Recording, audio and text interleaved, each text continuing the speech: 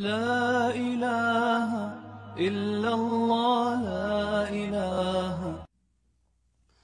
معاویہ رضی اللہ عنہ، مومن تھے یا منافق؟ کیا خلافت کا زیادہ اہل صدیق تھے یا انصار؟ امیر المؤمنین، امیر معاویہ رضی اللہ عنہ مومن تھے، کاتب وحی تھے، اسی لیے سیدنا حسن نے ان کو اپنا امام و خلیفہ بنایا اور سیدنا حسین نے ان کے ہاتھ پہ بیعت کی۔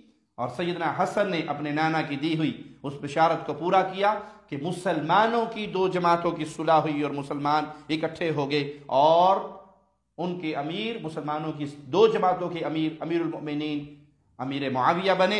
امیر معاویہ پر بہتان لگانے والے، نفاق کی تہمتیں لگانے والے، گھوڑوں کے پجاری، جانوروں کے پجاری، قبروں کے پجاری، پرلے درجے کے بد عقیدہ اور مشرق لوگ ہیں۔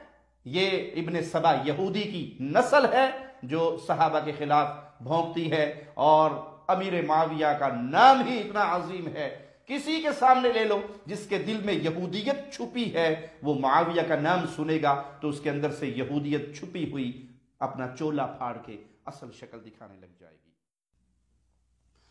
معاویہ رضی اللہ عنہ مومن تھے یا منافق؟ کیا خلافت کا زیادہ اہل صدیق تھے یا انصار۔ امیر المؤمنین امیر معاویہ رضی اللہ عنہ مومن تھے، کاتب وحی تھے، اسی لیے سیدنا حسن نے ان کو اپنا امام و خلیفہ بنایا اور سیدنا حسین نے ان کے ہاتھ پہ بیعت کی اور سیدنا حسن نے اپنے نانا کی دی ہوئی اس بشارت کو پورا کیا کہ مسلمانوں کی دو جماعتوں کی صلح ہوئی اور مسلمان اکٹھے ہو گئے اور ان کے امیر، مسلمانوں کی دو جماعتوں کے امیر امیر المؤمنین، امیر معاویہ بنے۔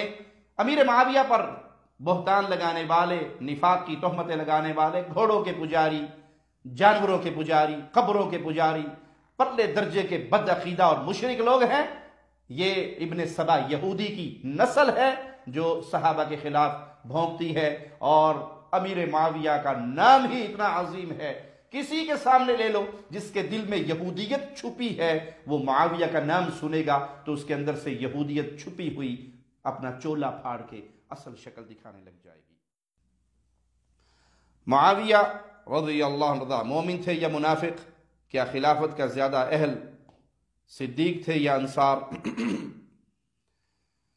امیر المؤمنین، امیر معاویہ رضی اللہ عنہ۔ مومن تھے، کاتب وحی تھے، اسی لیے سیدنا حسن نے ان کو اپنا امام و خلیفہ بنایا اور سیدنا حسین نے ان کے ہاتھ پہ بیعت کی اور سیدنا حسن نے اپنے نانا کی دی ہوئی اس بشارت کو پورا کیا کہ مسلمانوں کی دو جماعتوں کی صلح ہوئی اور مسلمان اکٹھے ہو گئے اور ان کے امیر، مسلمانوں کی دو جماعتوں کے امیر امیر المؤمنین امیر معاویہ بنے۔